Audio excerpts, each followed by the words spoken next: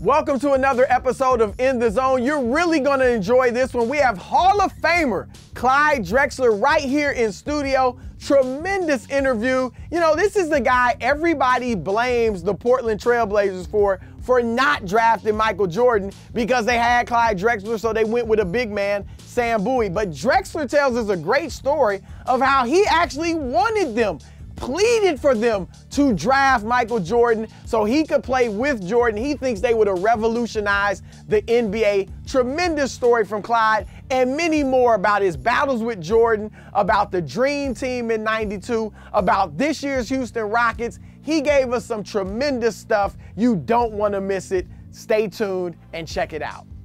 It is my pleasure and honor to welcome the great Clyde Drexler into the zone. Thanks for coming. Delighted to be here with you. Oh man, I uh, you know, I, I don't want to make you feel old, but I remember watching you with Phi Slama Jama. I was in high school. Oh. So that's not that much of a difference. I'm high school, you were college, so that's not that We're bad. the same age. Yeah. but it was uh y'all were legendary, you know. And I, I have to ask you this. Um, with the NCAA tournament just last week. Uh, what does that that loss to NC State? Do you how often do you think about that? Does that still eat at you? Uh, never. Only when people ask. but it was a great moment in time. Uh, some of the best basketball ever. Uh, early 80s was a golden era. Yeah. Some of the best players to ever play the game came out during that time. And, and that game, the one you're referring to, North Carolina State, Yeah. University of Houston, Phi Slama Jama, uh, well, it was legendary because, you know, the best team did not win. Yeah. Jimmy Valvano won. He went on to do a lot of things for cancer research, raised a ton of money, and uh, the Wolfpack won that game. But if they didn't win that game, we wouldn't know who he was. No, no question. You're right. So it, uh, in the grand scheme, it really worked out. It was meant to happen. Because they were fortunate to even get in the tournament. They won about three or four games the exact same way they beat us. They beat Wow. Virginia twice With Sam, with Sampson, with Ralph Sampson, the exact same way. Wow. Now, did you guys take them lightly? Uh, no, not at all. Okay, because you had beat Louisville, I believe, In the which was a great team. in the Yeah, Final and Four, Louisville was a really good team. Yeah. Doctors of Dunk, Yep. Rodney McCray, Scooter McCray, uh, Denny Crum, and those guys were the, the, big, the big cheese. Yeah. And uh, that was supposed to be the clash of the Titans. And so the Saturday game was a big, big game. We ended up winning. But the Monday game, I mean, we were ready. We Okay. wanted to win the whole thing. We had been to the Final Four the year before. Getting there was not enough. We wanted to win the whole thing. Yeah. So we did not take them lightly. Wow. Wow. well, I have to ask you before we get started. You, your jersey. We only have a few jerseys in the zone. That it was. I, I'm guessing this is not your favorite looking jersey of your career. Uh, that was uh, one year. After we won the NBA Finals in '95, they came up with the uh, New Jersey, and uh, it, it's got a beautiful little rocket on it. Were y'all like one what? year. but it was, it- you know, they, they changed a lot of uniforms back then. That was before the retro fits, the Yeah, throwbacks. yeah, yeah, and so yeah. that was the beginning of it. Yeah. And so, yeah. you know, Houston with NASA, the space program, and the rocket, so it, it, it worked out. Yeah. Yeah. Wouldn't do it again. Well, what what was it like? I want to go back to Houston just for University of Houston for a little bit. What was it like to see a young Hakeem Hakeem at that point, Hakeem Olajuwon, uh, playing at, at Houston? The That's- development must have been incredible. That's a good question. Uh, he, was um, 6'11", 195 when he first got to the University of Houston. And from that point on, he just continued to work, work, work, add weight, work, work, work. But he had guys like Moses Malone uh, helping him. He had guys like Guy Lewis, who's one of the best big man teachers in the college game. Okay. He was the kind of, he went to the right coach. Guy Lewis thought, if you're 6'10, 6'11, 7 feet, I can teach you to become a dominant post player.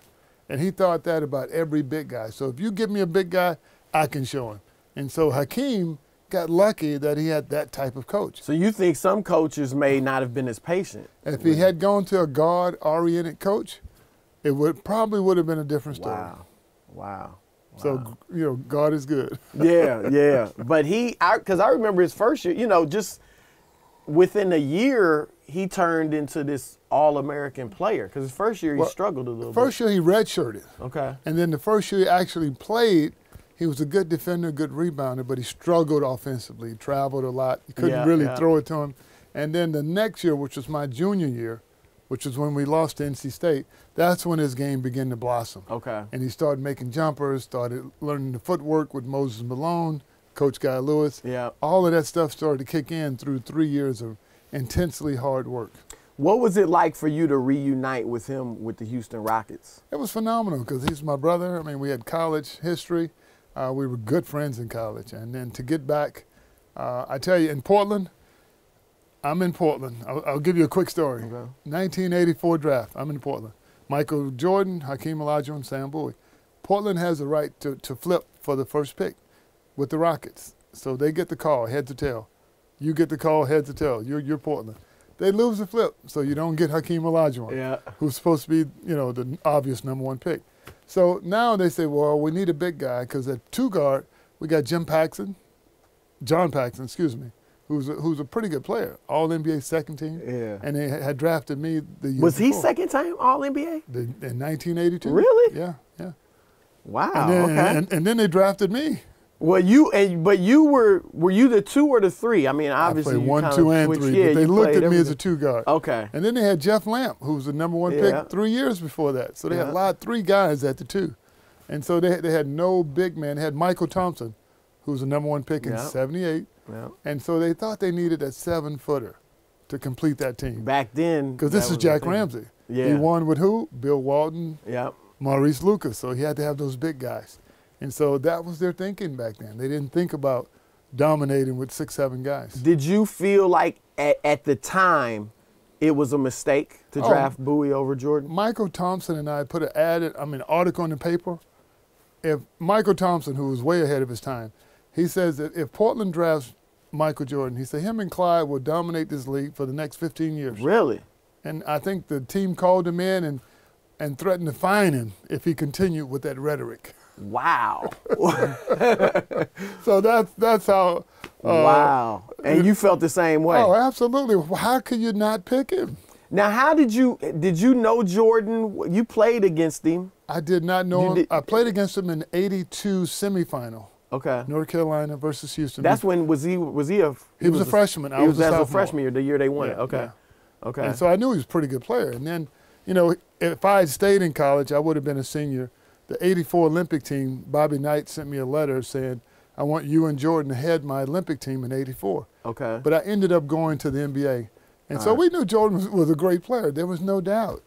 And so Michael Thompson and I were, were saying, you got to pick this guy, regardless of positions or who you have. You need good players. Yeah.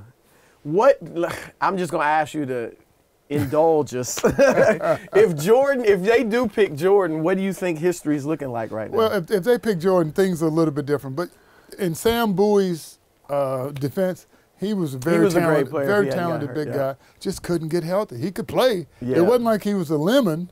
The guy could play. yeah. He yeah. just couldn't get healthy.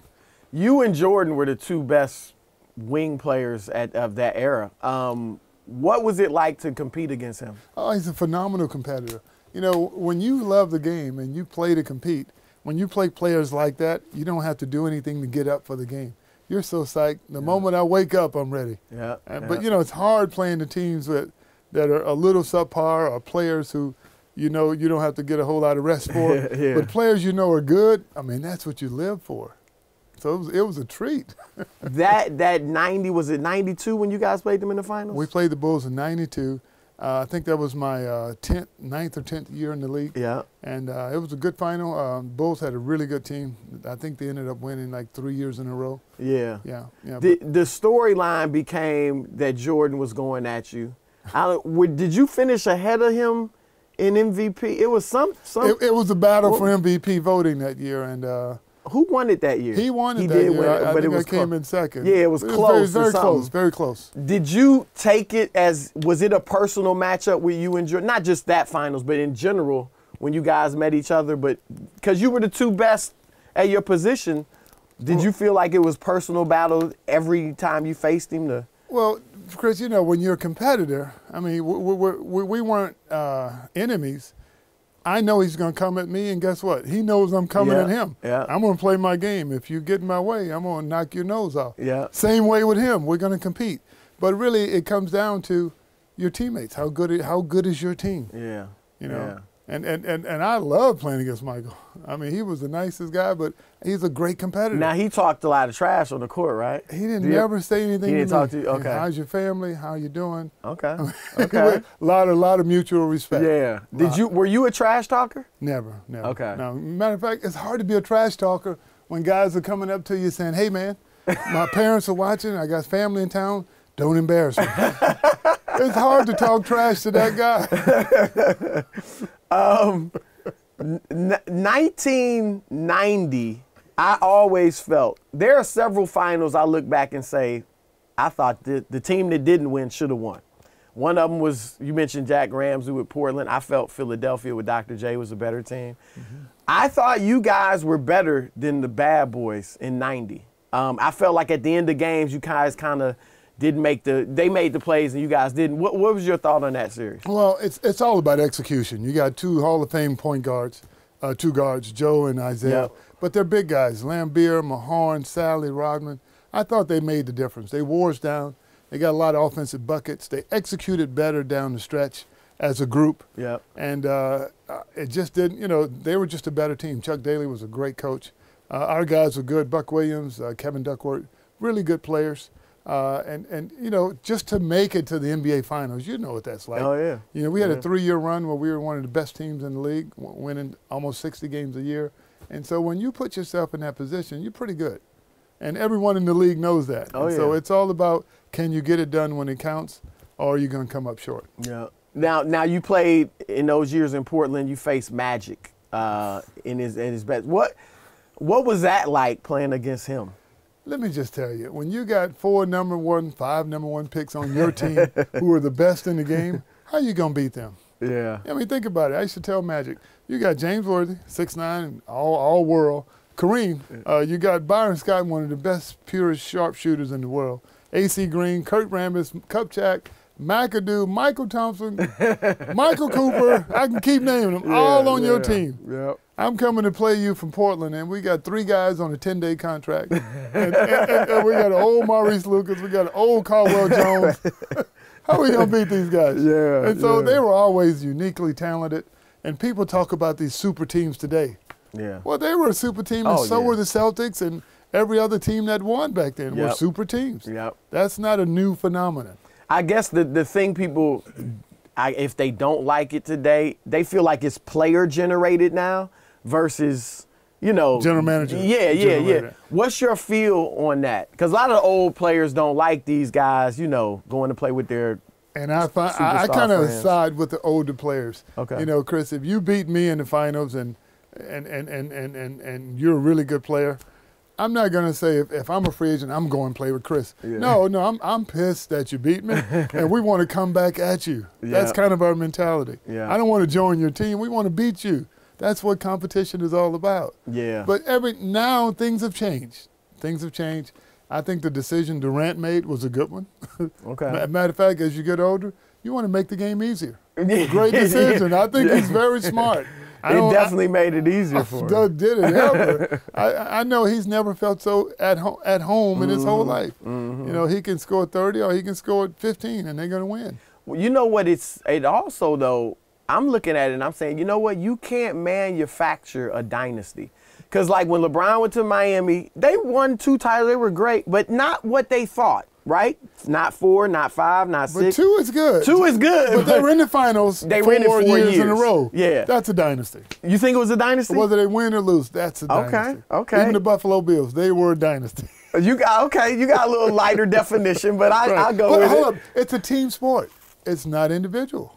Yeah. So you can get 50 points, 40 rebounds, 12 steals. If I miss the two free throws at the end of the game, we don't win. Yeah. Are you not a champion? that uh, it's unfortunate because people look at it that way. You're right. team sport. You're very right. Well, that's one reason people look at Jordan as the goat, the Mm-hmm. greatest of all time, because he won. They say six and six for six and all that. What? Who do you think is the greatest of all time? Well, I, you know, I, I don't want to take anything away from anybody, but it's obvious when you average 50 points, 25 rebounds, Wilt Chamberlain. Okay. Who's ever done that? And every year you had Wilt, guess what? You had a chance for a championship. Yeah. I mean, Michael was phenomenal, and you know he did really. you know, one of the best players I've ever played against, but who was ever better than Kareem or, or, or Chamberlain or Julius Erving or Mm-hmm. a Bird or Magic? Who was better than those guys? It's hard to say somebody's better. Yeah. You know, Yeah. I, I, I just I've never bought into that. Matter of fact, we're all competitors. You put me on the floor, a lot of them guys got lit you up. feel like you're better. oh, exactly. you light Did you up. feel like you were better than Jordan? I, I always felt like there was nobody better if I played the way I should have played. Okay. If I come out and compete, it's going to be very few guys better. And if they are, you shake their hand and say, "Congrats." but you don't go. You you- now you don't look and say, "Yeah, Michael was better than me." You feel like Let me tell you something. The, what I feel like is I can compete with anybody. I mean, obviously that speaks for itself. Yeah, yeah, yeah. But it's all about performance. You know, the difference is if you're taking 35 shots and I'm taking 20, you're Yeah. going to have more points. yeah, Bottom line. But I'm going to make you work and you can't guard me. yeah, My, you know, so you look at it from a perspective, I still can do with everything I do, no matter who's on me. What can I stop you from doing? Mm-hmm. Well, I can't stop you from getting 35 points because you're going to get a lot of attempts. But I can make you shoot a worse percentage. yeah. Make you work for it. And so that's the way you think. You're going to make him earn everything. If a lot of people look at his when he retired for that year and a half, and you guys won, or Yeah. Houston won the cha- championship, you there for one of them. Um, do you think you guys would have beat the Bulls if he had, if Jordan had played? Uh, I, I think um, Jordan played in Well, he 94, came back. Yeah, he came back with. and I think baseball. Orlando swept him, Yep, right? yep, yep. And then we swept you- Orlando. so there's your answer. That's your answer, And not taking nothing away from it. Yeah, they were yeah. phenomenal. But Yeah. I actually talk about what happened, not Yeah. what could have happened. okay, that's You know, that's fair. That's, fair. You got to look at it in terms of absolute uh, things that are absolute. Yeah. This is what happened. what was it like that dream team? That dream team was phenomenal. I mean, some of the best players to ever play. Yeah. Um, and, and, and, and guys got along so well uh, and, and just made it a great experience. What were I, I read and heard the practices were just incredible scrimmages you guys had. Yeah, some of the practices were very competitive, and they should have been because you got all these great Yeah. players. But a lot of times we had guys who were injured. I think Magic Bird, was injured, was- Bird okay. was injured, Stockton was injured, and so you didn't have a full complement of players the whole time. I was injured. I had a right knee uh, Okay. that needed surgery since March that I kept putting off until Okay. like September. So during that time, I wasn't looking to go hard in Okay. practice. I'm trying to survive the experience. and so when I hear guys talking about how hard the practices were, I don't think I thought that way. Okay, I was okay. trying to survive. But, but you just compete always, no, no matter if it's practice, the games, or whenever you hit that floor, you come to play. What was was there something about that experience that stood out to you? What's a great story from that experience that people don't know? Uh, Well, just back then, you know, guys really didn't like you if you're on a different team Okay, yeah. because we're competitors. Yeah. We're not supposed to like you. Yeah. We're trying to beat you. And so we really were not good friends. And so some of the guys from the East, I didn't know at all, like Bird and Patrick and Scottie and Michael. I mean, and so from the West, you're on the All Star team at least once a year with him. So you get to know Karl Malone, David Robinson, Yeah. John Stockton, Chris Mullin. Yeah. But I tell you what, Magic, but, but the guys from the East, I really didn't know that well. Okay. But matter of fact, we didn't have much conversation because you're trying not to get to know him because I might like him. Now I won't play as hard against him. you Okay, know? okay. So that's the way we thought. Yeah. So we kind of stayed in our own little lane. Okay. Yeah, That's interesting. Give guys their space, and uh, it's because we got to compete. It's all about production. yeah. You know, we're not trying to be friends. We're trying to win. now you guys in practice never played West against East. Um, That would have been interesting.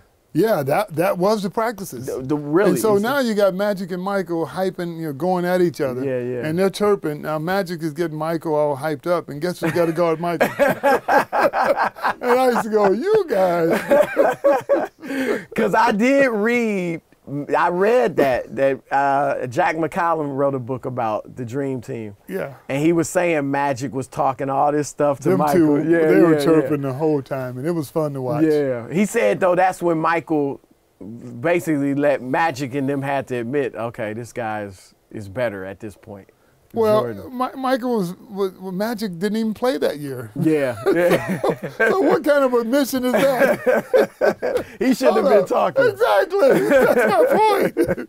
He was he had no chance. I mean, and as good as he was, in the uh, 80s and, and Yeah, early yeah, 90s. yeah. I mean, at 92, I mean, He Mike- was an older player. yeah, and Michael was a cheese. Yeah. So that's not a that's an obvious statement. You know, I got to admit he's better. Oh, really? Captain Obvious. We've seen several dream teams now. I I think people were comparing 08 with LeBron and Kobe Yeah. and uh, and 12 to you guys. Which one would you think is better? Who I'm biased. Obviously, 92 aside, that's the best, the only, the first. Never to be duplicated. Yeah. Nobody could beat that team. But after that team, I, I think the uh, 96 team was pretty good with Shaq, Elijah Yeah, Wan. I mean, that's those, true. Those They were guys- still winning by 42. GP. I mean, they had some really good players. Yeah, yeah. what do you um?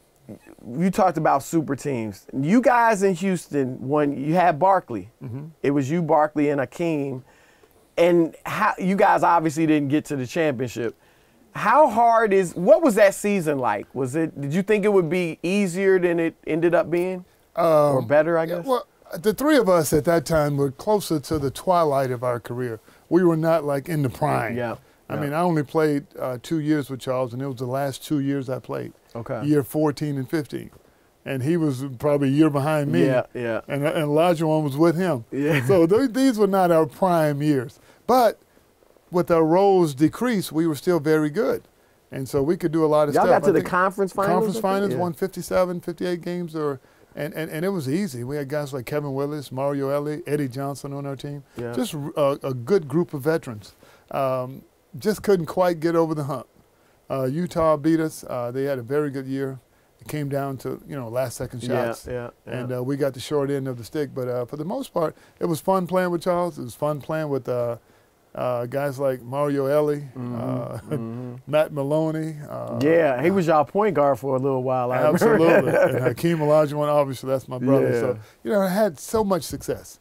Was it how hard though is it to maybe because you were older, you guys were older, it was easier, but is it people I don't think people understand how difficult it is to get three guys who are used to being the first option to come together and play as teammates. It is very difficult. And then people today don't, you know, but I always, I have this thing. We're talking about Chris Paul, James Harden Yeah. playing together.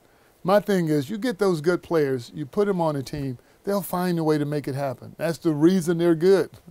Well, they I'm, understand their intelligence Yeah. sets them apart. I'm gonna jump ahead then, and because I, want to get to this Rockets team that you you're the broadcaster, the home games you broadcast for them. Um, there's talk LeBron's gonna be a free agent, and there's talk about him going to the Rockets. And I have wondered. Now I was wondering about Chris and James working out together, but I've wondered, man, I don't know how that would work with three guys that like the ball. You don't think it would be a problem if LeBron went there? I think it would be awesome. They'd be the best team. Because LeBron would be like KD. You don't have to work that hard now. Yeah. You got other teammates that can get it done. And Yeah. so now it's about having fun and enjoying the game as opposed to playing 45 minutes and you got to score 40, 20, and 20 to have a chance to win. That's a hard deal. so it could work.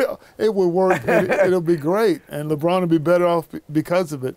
It'll extend his career. Okay, okay. Now let's get to these Rockets. Um, they look great. they they the best record in the league. Um, are they your favorite right now to win it all? I think the Rockets, with their record and the way they play, they are the favorites. If Chris and James are completely healthy, because those guys get along so well, their chemistry is great. They have a, a good mix of complementary players. Guys like Trevor Ariza, Mbah a Moute, PJ Tucker, Clint, Clint, Capela, Ryan Anderson, Joe Green off the bench, Joe Johnson off the bench. I mean, they've got a lot of talent. Eric Gordon is phenomenal, along with Chris and James. And so you got a lot of guys who can get it done. Now, the game they played the other night against the Spurs, Yeah. Spurs slowed them down. They scored 83 points, and the Spurs beat them by like 17. Yeah. Now that's that's what you don't want to see happen. With a high-powered offense, you can't slow. They got to play at their pace every single night. Now, so you Golden State healthy or not? You got you think they're better than Golden State? I think it's going to be a great series, and it's all going to be about who's making shots. But Golden State's got some of the greatest shooters to ever play the game. Yeah. And those guys know how to get it done because they've been there. The Rockets, on the other hand, are hungry. They should be more mm-hmm. motivated. So that extra motivation forces you to play a little bit harder. You got to want it. And I think they do. James and Chris, are, are probably as motivated as any two guys I've ever seen. Mm-hmm. Mike D'Antoni's been a good coach for a long time, but he's never had playoff success. Yep. Another motivated person. So you got all these people super motivated to prove they can get it done. I think that's a recipe for success. Do you worry? Because Harden has, I love James Harden. I voted for him for MVP in 2015. Uh, last year, he would have won it if Russ didn't have the triple double. Um, but he's had his bad moments in his clutch games. Uh, last year, game six against the Spurs, Golden State, game five a few years ago. You know, he's had some bad moments. Chris has had some bad moments too with the Clippers. Um, are you concerned about that at all? And Well, first of all, I got to tell you, the beard, when you're talking about James Harden, you're talking about a real baller. This guy loves the game. He competes. He beats teams by himself on a nightly basis. This guy's incredibly talented. Yeah. He's very smart. He's deceptively athletic, and, and he can really shoot. And so here's a guy who has all those skills but knows how to use it. Mm-hmm. Chris Paul, the same way. So James, I thought he should have been MVP in 2015. yep. I thought he should have been MVP last year, and he should be obviously MVP this year. Yeah. That's how much I think of James Harden. He's the best player in the game uh, today. You think he's be- the best player in the game right now? to this better year, than this LeBron? year, this Okay. year, because Okay. offensively he is just a juggernaut. It's hard to three or four guys stack up to guard him every single night, which leaves those shooters wide open. And when he's not on the floor, let me just tell you something: them guys don't get the same shot. Yeah, yeah. So yeah. you got to look at his overall impact, the the way he makes his teammates better, the way he plays, how consistently he scores 30 plus points, eight something rebounds, six seven assists Yeah, yeah, every yeah. single night. So this guy's the real deal. Best and, player in and, the and world. LeBron, I love LeBron. Okay. I mean, But I mean, but who's, hard. who's the He- best player in the world right now? Well, well, LeBron could be the best player every year, kind of like Shaq and Kobe when they were Yeah, playing. They could have been the best players every year. But LeBron is the same way. But James, I think, is having just a superior season. When you win 63, 64, 65 games, I mean, you you are getting it done. yeah. Nah, he's he's been But incredible. but think about this: if Steph Curry or Durant had one less option and they had more more field goal attempts, they would always be in the uh, running for MVP. yeah. So you got a lot of great players playing at a very high level. But the one thing I look at is efficiency. You know, you can't be the MVP shooting five for 25 every night Mhm. with seven turnovers. You Mhm. can't do that. Yep. Yep. I don't care what MVP, what kind of MVP is that? I mean, so you got to look at efficiency. What? And, how good is your team? How do you? Yeah. How good do you make your teammates around you? Yeah. No, I agree. I agree. What um when you look at the game today, especially the Rockets, they're like the extreme. I mean, they shoot 43s, more than 43s a game. What do you what I mean, comparing that to when you played is so it's almost a different game. It's very much a different game. So until the uh, the late '80s, the early '90s, we didn't really shoot that many threes. Coaches would take you out and say, "That's a bad shot. It's inefficient.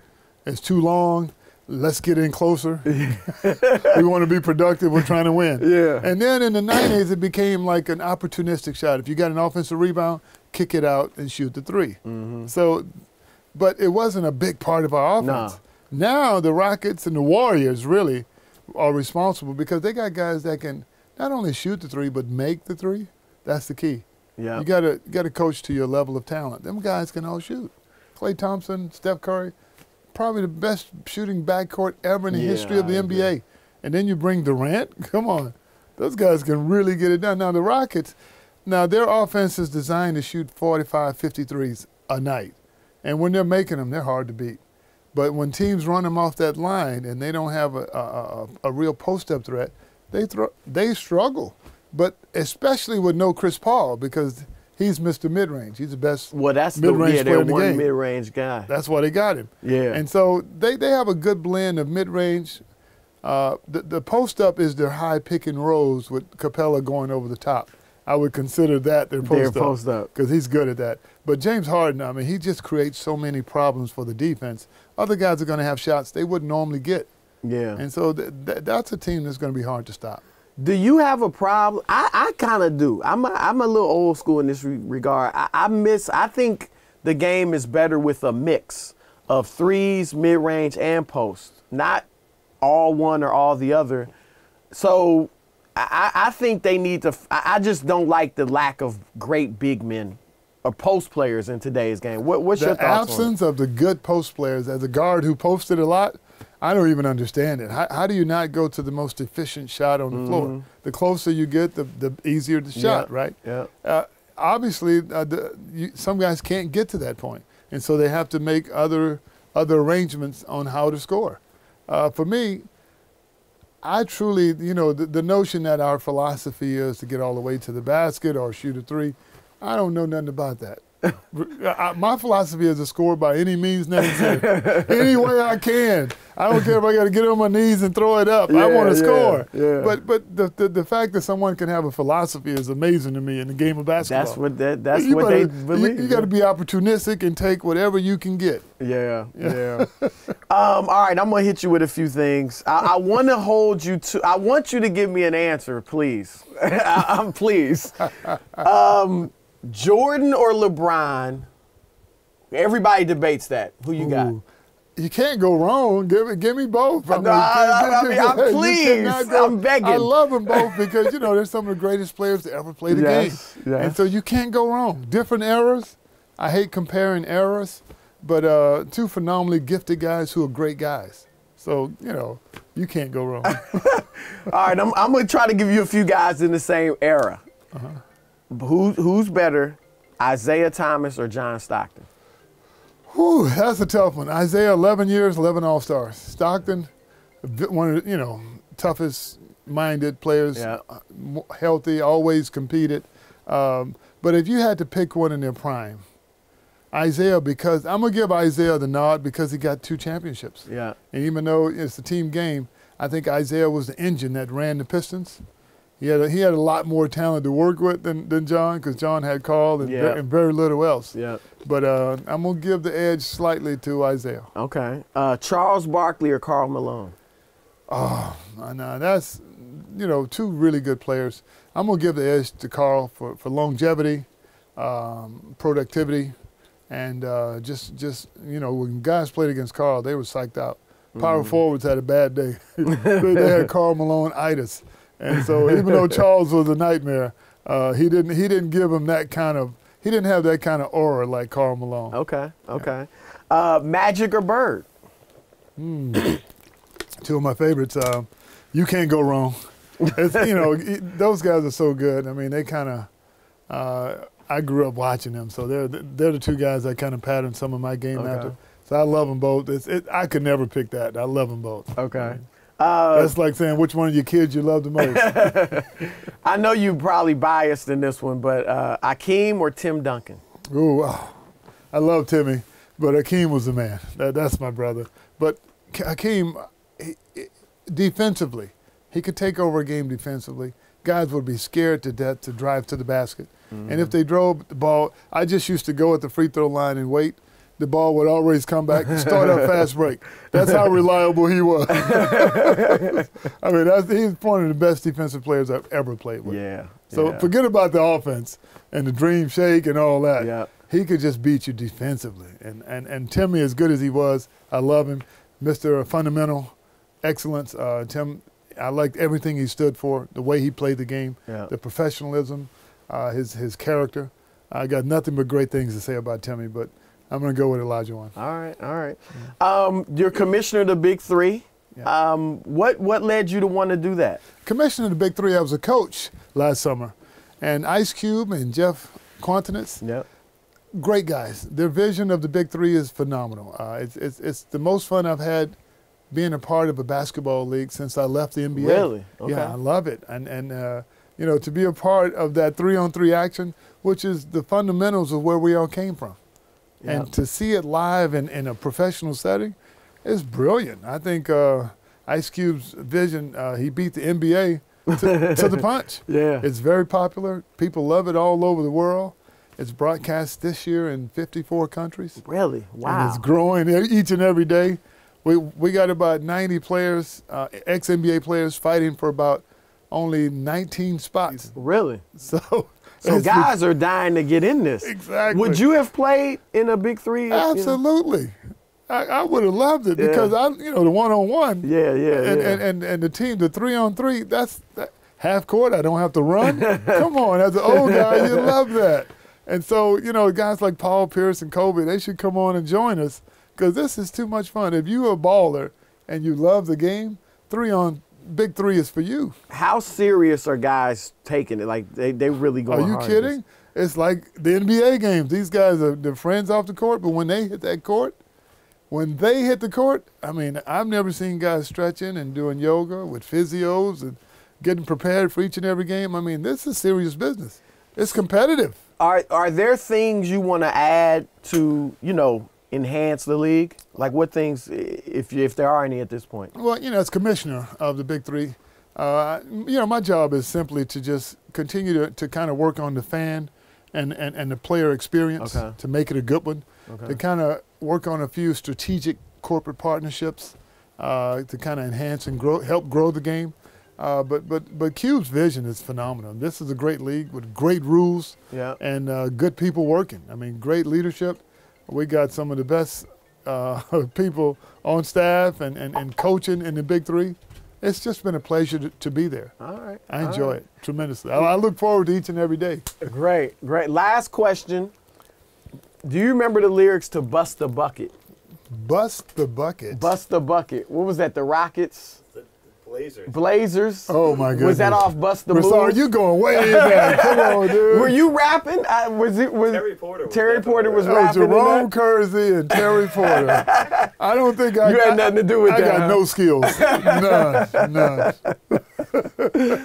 Well, Clyde, it was great talking Always with you. Always a pleasure. Yeah, Good man. Definitely you a lot, a lot of fun. history. Yeah, I took you back. I took you way back. But uh, good luck with the big three. Thank you. And I'm looking forward to this year. Last year was great. I'm really looking forward to this year because the games will be live Yeah. now. Games alive. You got guys like Amar'e Stoudemire.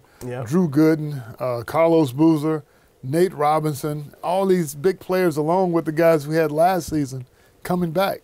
And so this is this is a lot of fun, a lot of competition. You to play in the big three, you got to bring your game. This Yeah. is not a this is not a bunch of old guys. These are guys that can still compete at a very high level. Well, you know what was interesting last year? Some of the best players Uh-huh. were guys that only had a quote unquote cup of coffee in the NBA. Yeah. So they were still kind of young, you know, like early 30s, mid 30s. Rashad McCants, Yeah, Al yeah. Harrington. I mean, those guys are phenomenal. Yeah, so DeShawn you- Stevenson. how do how do the older like uh, like guys who were legends, okay, but they're a little older, Uh-huh. and they're playing against these young guys that weren't that good in the NBA, but they're younger, so they might be better at this point. How did the the legendary guys? How do they look at that? Well, they know they got a lot of pride, and they don't want these young guys to, to kind of show them up. Yeah. And so it's that's what makes them play harder. But got you know we got some of the greatest coaches. When I talk to Julius Erving or George Gervin or Rick Barry or Gary Payton, I mean that's what we talk about. Yeah. These guys come to play. They don't care who you were in the NBA. They care who you are now in the Big Three. so you got to bring your game. All right, let me ask you this. You coached last year. I- I mean, it's three on three. How much strategy is there really in There's a lot of strategy. Is there? The high pick and rolls, you got to make sure you got a shooter on the weak side. Otherwise, they're going to collapse because we have no illegal defense. Okay. You got a 14 second shot clock, and, and it's moving. First one to 25 is halftime. Yeah. Game is 50. You got to win by two. So the games go quickly. And if you got three point shooters and even four point shooters, Yeah, yeah. which really makes our game stand out from anyone else, we got the four point shot. And we got guys that can make that shot. so you got to extend your defense way out, which leaves a lot of room to go to work. Now, last year there were some guys, Terrell Owens. Well, I, I, think I think Ice Cube set it up, and, and Jeff, to the point where you had to be an ex NBA player, Mm-hmm. so you had to have pro pedigree. Uh, but but I, I don't know if they'll open it up for, for tryouts if a guy's that good. Yeah, he's really yeah. really that good. You may want to think about it, Yeah. but that's going to be up to them.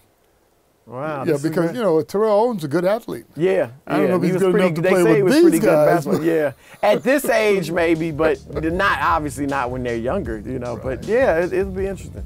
All right, I know you got to roll. Pleasure, Thank you. pleasure. Always a pleasure. All right. Continued success. Yeah, thank you.